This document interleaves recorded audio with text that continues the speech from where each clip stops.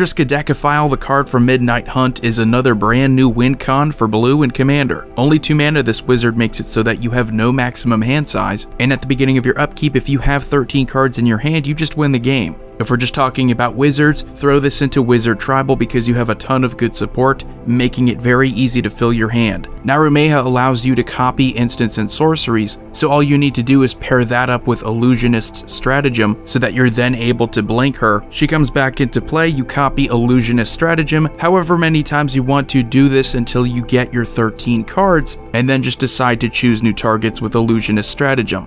And then of course if you want to play CEDH, we already have good cards for that like Ad Nauseam and Necropotence, so it's very easy to get to 13 with those. This is a spin-off of an earlier card from Shadows over Innistrad, Triskaidekaphobia. That wasn't very practical though, I think Triskaidekaphile is a lot more practical.